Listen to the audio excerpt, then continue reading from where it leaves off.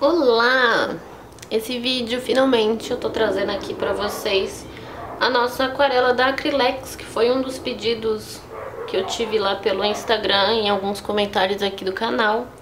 E eu consegui, graças a vocês que estão me ajudando a me apoiar lá pela roxinha e no site que tá embaixo do nosso vídeo que se você quiser me ajudar a apoiar financeiramente pra gente conseguir comprar algumas aquarelas que vocês pedem bastante aqui pelo YouTube, tem esse site que tá embaixo, tá tudo especificado aí embaixo do vídeo, também, claro, tem os vídeos, os links complementares que eu menciono aqui pelo vídeo, então todos esses links auxiliares vão estar debaixo do vídeo, seja pela roxinha, onde eu faço lives estudando aquarela, seja fazendo live trabalhando, fazendo live estudando, fazendo live testando os materiais que vocês me pedem por lá. Então, tanto pela roxinha quanto por esse link vocês podem me apoiar. E com a ajuda de vocês, conseguir esta aquarela da Acrylex, que eu não abri ainda, tá com plástico, ó. Eu vou justamente abrir aqui com vocês. Vai ter análise da embalagem, que é esse vídeo aqui, que não é resenha ainda. Eu ainda vou fazer resenha, ainda a gente vai testar essa aquarela pra ver como que ela se comporta na pintura. E eu vou repassar pra vocês aqui os meus pontos de vista baseados nos meus conhecimentos de alguns anos aí pra gente ver se você quer realmente começar com essa aquarela pra estudar aquarela de fato, com camadas transparentes e tudo mais, se ela é realmente boa ou não ou se você só quer usar aquarela pra descansar a cabeça, pintar qualquer coisa, ou se ela vale a pena ou não. Então, beleza, eu vou aqui agora abrir com o nosso estilete e a gente vai analisar a embalagem, todos os compostos químicos é, para entender do que, que essa aquarela é feita e tudo mais. Logo que eu recebi esse produto, eu falei, eu não vou abrir ainda, que eu quero abrir durante o nosso vídeo. E esse plástico é grosso, mano, eu não consigo rasgar com o estilete. Agora foi. Eu comprei na Shopee, se eu não me engano. Eu vou deixar o link dela aí embaixo. Pra quem quiser comprar, sei lá, comparar preço. Esse estojo aqui tem 12 cores. É uma aquarela escolar. Só de olhar aqui, ela provavelmente é uma aquarela que é meio arenosa, que é mais opaca e provavelmente deve ter alguma composição que tem uma textura próxima a giz de lousa. Boa parte das aquarelas escolares são feitas com corante. E vamos ler aqui atrás o que fala sobre a nossa aquarela. Indicado para pintura em papel e papel cartão, cores miscíveis entre si, solúvel em água, não tóxica. Evitar a ingestão e a utilização na pele, armazenar em local fresco e seco. Evite temperaturas acima de 45 graus e exposição direto aos raios solares, pois podem alterar sua consistência. Geralmente isso tem a ver com aquele light fastness que a gente fala das aquarelas estudantis e profissionais. Geralmente quando uma tinta tem é, contato direto com luz por muito tempo e às vezes fica muito quente o ambiente e a, a cor começa a desbotar.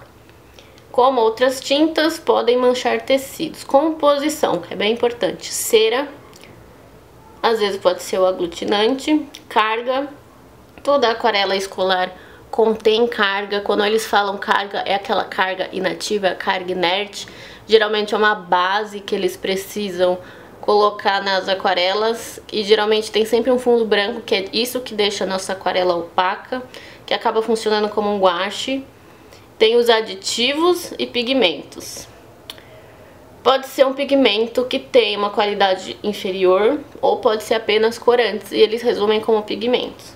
Aditivos também pode vir dos aglutinantes, das outras composições, para fazer com que a nossa aquarela reaja, consiga ser misturada ou consiga demorar para secar, conseguir tem aquele tempo né, da aquarela é, sobreviver na superfície e não ser tão absorvida tão rápido, pode ser isso também. E aí depois aqui embaixo tem as outras línguas.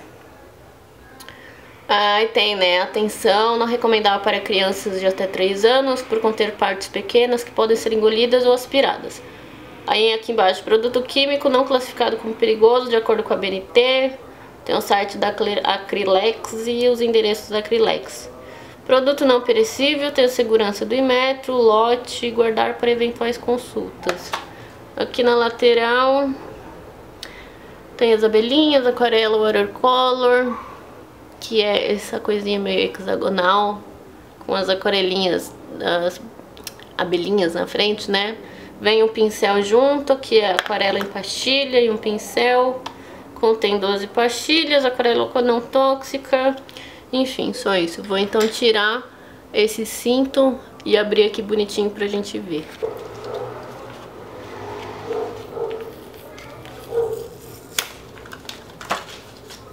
Não quero estragar essa parte, que é justamente onde a gente tem nessa composição.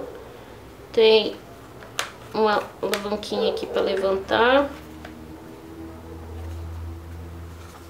É, e era o que eu suspeitava mesmo.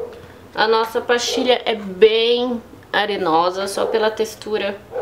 Provavelmente aquela textura de giz de lousa que eu mencionei, se geralmente quando a gente passa o dedo e sai colorido é porque aquela areia sai muito fácil. E quando isso acontece, tem certeza que vai ser uma aquarela super opaca, que pode não ter transparência. Todas as cores estão saindo dessa areia. O marrom saiu um monte aqui, nossa.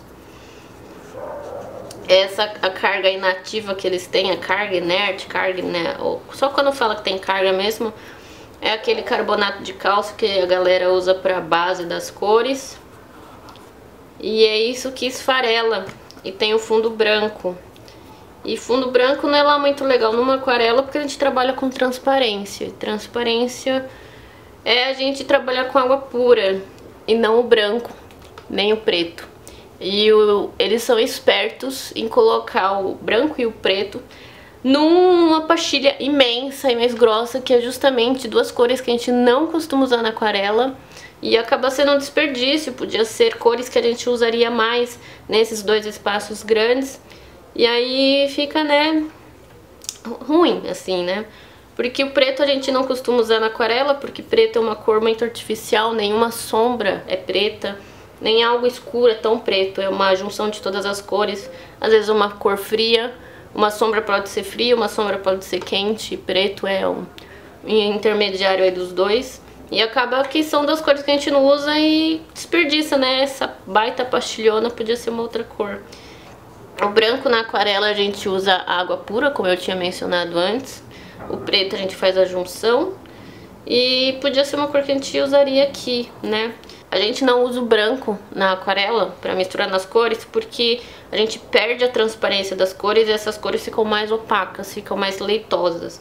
A tinta, que já é meio esfarelenta assim, deixa o dedo sujo, já é pela base dela, por ter conter essas cargas na composição, já tem esse fundo branco. Então você adicionando mais branco ainda, ela vai ficando mais grossa ainda e perde a transparência. Então isso desfavorece um pouco quando você quer aprender aquarela, fazer as camadas transparentes de fato. Essa aquarela pode te atrapalhar no processo, você pode ficar mais nervoso, você vai se desgastando mais, você pode se frustrar mais também pela composição dessas aquarelas. Então, se você realmente quer, de fato, aprender aquarela com a camada transparente, fazer luz e sombra e tudo mais, eu recomendo, de coração, se possível, compre aquarela estudantil. Não precisa necessariamente ser um kit de várias cores, que no começo a gente não usa tudo isso, cinco cores já é essencial, ou 12 se você preferir. E tem um vídeo específico sobre as cinco cores principais na aquarela, de várias aquarelas estudantis que a gente tem aqui no Brasil, que eu recomendo para quem quiser começar por elas. E que pode comprar. Fica até mais barato do que um estojo imenso. Então, isso aqui, o estojo é um plástico bem flexível, não é tão resistente, mas também não é fino. Veio esse pincelzinho com cabinho de madeira. É um pincel aparentemente natural, porque é bem molinho. Só achei meio ruim porque já caiu vários cerdas aqui, vários pelinhos do pincel. Então provavelmente durante a pintura vocês vão talvez sentir dificuldade porque durante a pintura vai toda hora cair esses pelos e tirar pelo do meio de uma pintura é meio chato, porque borra e tudo mais. Não sei se dá pra ver, mas tá cheio de pelinho que eu cutuquei ali, só de passar no dedo caiu vários. Então o pincel lá também nessas coisas. Ele é meio cheinho, então deve dar pra pegar bastante água e bastante tinta. Vai depender de como essa pastilha se comporta, porque tem algumas aquarelas que você fica raspando junto com a água e não sai tinta de jeito nenhum. E quanto mais atrito você faz na pastilha, o pincel vai ficando mais sensível e pode realmente cair mais pelos ou machucar realmente as cerdas do pincel. E aí faz com que o pincel dure menos, né? Mas enfim, tem aqui a nossa tampinha, que é um plástico com uma textura bem aveludada. Então acredito que o, as tintas que a gente coloque aqui no godê talvez se misturem bem, porque essa textura de plástico faz com que a tinta deslize melhor, porque tem algumas aquarelas que não desliza bem. Fica meio que a tinta fica se repelindo, então não sei, vamos testar no nosso próximo vídeo de resenha aqui pelo canal. E aí tem esse furinho aqui, que acredito que seja para colocar o pincel, sei lá, enquanto você tá em pé trabalhando, ou pendurar o seu estojo na parede não sei, dá pra encontrar alguma função esse furinho, né? Mas enfim, é isso aqui, é a análise então da embalagem do nosso aquarela Acrylex. A gente então vai testar essa aquarela pela roxinha pra gente fazer uma ilustração bem legal pra ver como que as tintas se comportam, se elas conseguem funcionar bem em várias camadas transparentes, se a gente consegue trabalhar com transparência. E aí já já esse vídeo aparece aqui pelo canal assim como o vídeo da resenha. Então, se vocês tiverem sugestão do que a gente pode desenhar e pintar com essa aquarela, deixa aí nos comentários. Se você não conhece meu canal, já se inscreve no loginho que tá aqui embaixo. Deixa aí no embaixo o seu like, compartilha para mais pessoas que estão aprendendo aquarela. E é isso, a gente se vê por aí. Tchauzinho.